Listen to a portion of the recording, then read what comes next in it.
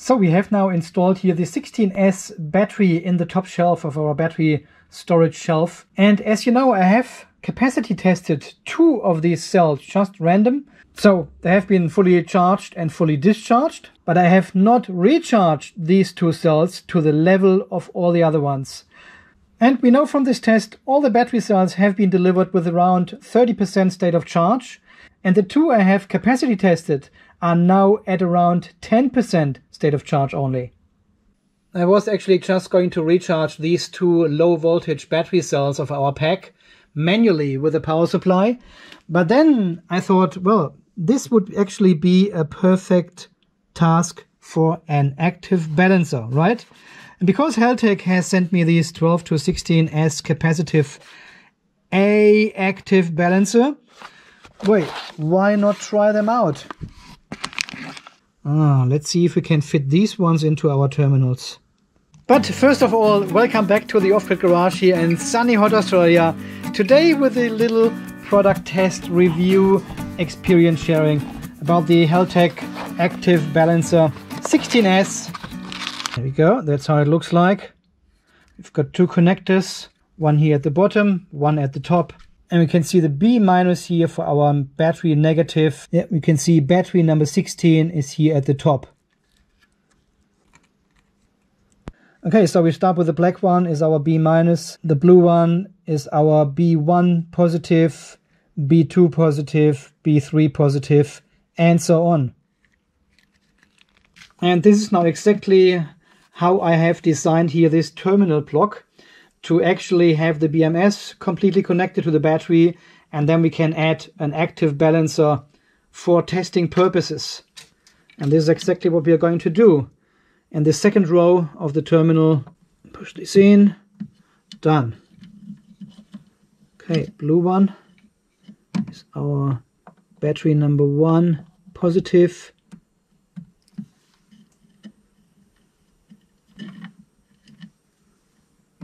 Green one, battery number two positive,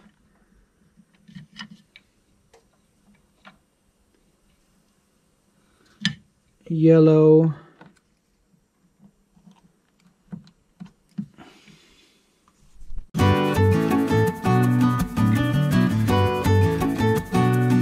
Okay, so before we connect our balancer, we want to check the voltages on these connectors again. And all these connectors have a little opening here where you can actually access the contacts. And we start with our negative probe on the black cable, which is our negative. So negative probe over here and then the first positive over there. And this should measure us the first battery voltage, 3.28 volt. And if I move the if I move the positive one contact further, we measure measure two batteries so we should be at around 6 6.5 volts. We go to number 3 we should be at 9 point something 9.8 and one further 13.4 16 19 23 now 26.5 or something. Yeah 26.2 so they are all perfectly good connected. And we do the same with the second. Here come on you little piece of with my negative probe, I stay on the negative contact of our first connector. And then, and then, and then, I go through all the contacts of the second connector as well. So starting with the first one there, 29.5. It's a bit hard to do here. And now it's reflecting, amazing. 32.8 36 but the white one here come on. 36 ah see the white one? No contact. Ah yeah. 42 45 48 52 okay just the white one has no contact. The white one which is our cell number 10 they could have stripped this a little bit further here to give us a little bit more cable to connect to. Okay, I'm just reseating it now in the terminal. And hope we get a good contact this time. This is a total nightmare. Oh. Okay, let's try the white one. Yeah, 39. Okay, we've got contact now. Yeah, that is all good. I always connect the one first where the actual battery negative is, here the black wire. And I just check this again. Okay, they're connected. And the top one goes in here. Yep, connected. So the light has turned on of the balancer and it does its job now. And we probably can see this already here that the voltage of number 14 is rising. Let's see.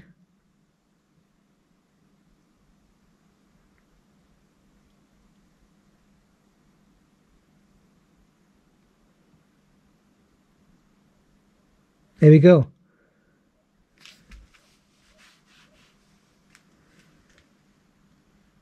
So the balancer is now discharging the cells with a higher voltage and transfers the energy over to the cells with a lower voltage. 61, see it's rising. Not sure if the other one is rising too, but I think it fills this one up first because this is the lowest. And then it will continue with number 12 here as well. Yeah, 62, see it's rising.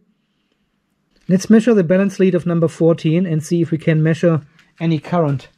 That's the green one here. This is now our cell number 14. Let's see if we can see. Oh yeah, we are balancing with um, almost 1 amp, 0.9 amps going into a cell number 14 at the moment, which is our lowest voltage cell. And this energy comes from the other cells now. And tomorrow morning, they will be all perfectly balanced. So we just leave the Heltec balancer connected to our battery pack until tomorrow morning. And then we check again how the actual voltage situation looks like with our battery here.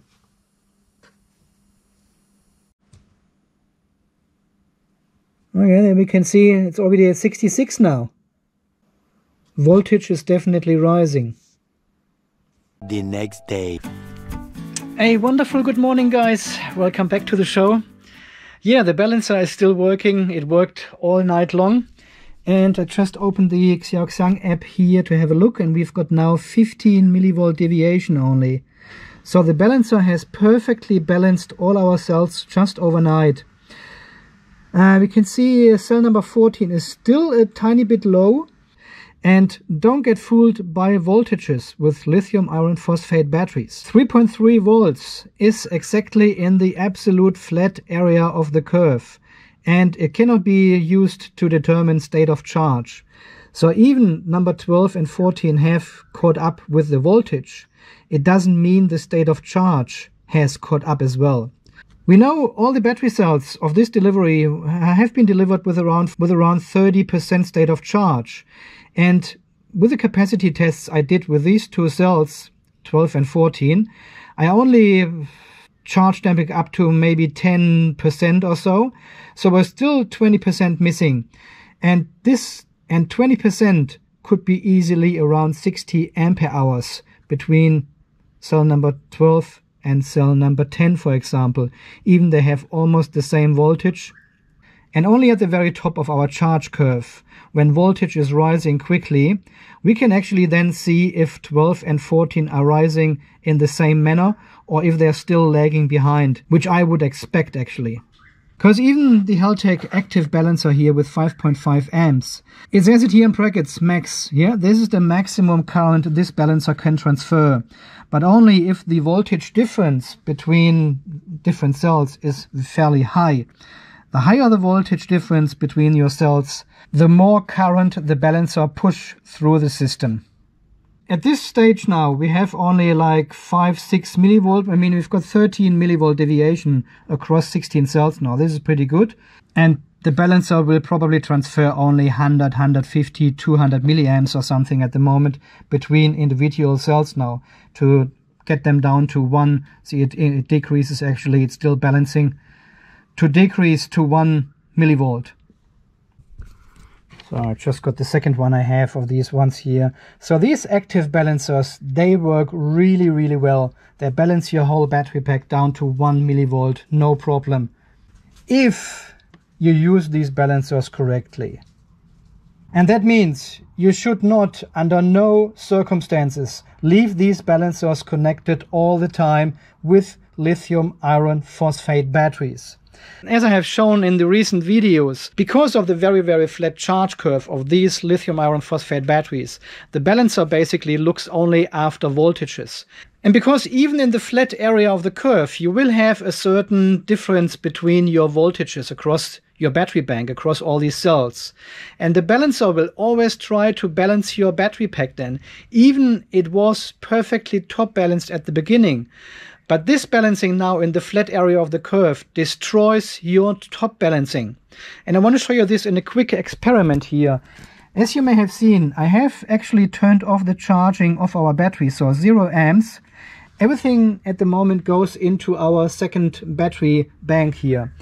When I turn on charging again, you will see the current shoots up like 40, 50 amps maybe. It will get some energy from the other battery bank and you can also see the voltage difference will go up as well. And this is exactly the problem with these active balancers if they are connected all the time. Because then they will start transferring energy from one cell into another, which is not necessary at all. Only, only at the very far top, above 3.45 volts, when the curve starts going steep, then you should turn on these balancers and then they work 100% perfectly fine, correctly. Okay, let's turn this on and see what happens. Uh, 17 amps only. 16. It doesn't go up too much. I was expecting a little bit more. But usually if you have a high load... Ah, hang on. So, on the second battery bank, let me turn off charging here. So all the current actually goes into this battery. And you can see here the deviation is shooting up now from 13 to 20, 21. And the higher your load or the higher the charge current goes, the more deviation you will see and the more the balancer will kick in and transfers energy from one cell, see in this, this case from number 3 into number 14. So if you charge your battery during the day from solar the balancer will always balance and takes energy from the high voltage cells into the low voltage cells. Which is totally its job. But then, once you fully charge your battery again to 3.45 volts or something, you will see a huge difference in capacity, in state of charge of your battery cells. Because before the balancer has transferred all the energy across your pack, mixed it all up depending on the voltages. And then at the very top, you have the big mess. I have made a couple of videos, a whole series about these active balancers actually, and found out that they only work above 3.45 volts, not below, not below. Big problems if you balance your battery all the time. It is different with lithium ion batteries, 18650s, because here the voltage is fairly linear to the state of charge. But lithium iron phosphate, big no-no. So what you can do is, see this little run soldering here, you can remove this and expose the two solder pads underneath. And you can just connect two wires and a switch. And then with this switch you can easily turn on and turn off the balancer, even it stays connected all the time to your cables. So you can keep all the balance cables here connected to your battery and just activate and deactivate the balancer with this switch here. You could also find a small electronic on AliExpress, uh, like a voltage trigger with a relay, and then at a certain voltage of one of your battery cells, the balancer turns on and starts the balancing process. And again, this should only be 3.45 volts or above. So I'm sure if you have one of these batteries, you monitor the state of charge of single cells anyway. You have a look at your BMS from time to time, and if you see there's a certain imbalance when you fully charge the battery, just flick the switch, turn on the balancer overnight, and in the morning turn it back off again when the sun comes out, and everything will be fine. And you probably have to do this maybe like two or three times a year, and that's basically it. And this will maintain the balance of all your battery cells. And because Heltec BMS was so very kind to send me two of these active balancers for a 12 to 16S battery, I would like to pass them on to the community and give them away for free. So if you want one of these um, 12 to 16S capacity active balancers, here are all the details again. So to participate, we make this a little bit of fun this time. I just don't want to. I'll, I'll, show you a picture here on the screen, and you can press pause to actually study it or download it, even or make a screenshot or whatever. You can see a certain installation in this picture here. To qualify for the giveaway of these active balancers from Heltec BMS, send me an email to this address here and explain what I have done here in this picture. What have I installed here and for what purpose? Yeah, and I will send one of the Heltec BMS active balancers to you, just for free. I got them for free, I'll give them away for free. So to enter the draw for one of these active balancers, please follow the instructions down in the video description. And thank you again, Heltec BMS, for sending over these amazing products here. They are working really, really well. And as always guys, thank you so much for watching. Thanks for all your great support here on the channel. I really appreciate everything you are doing. Until the next video here from the channel in sunny hot Australia, you stay charged and of course stay safe. And thank you again for watching. See you then. Bye bye. Okay, I will probably disconnect my balancer now because I don't want to have it balanced right now. We probably reconnect it again once the battery is fully charged to do the final balance across all cells.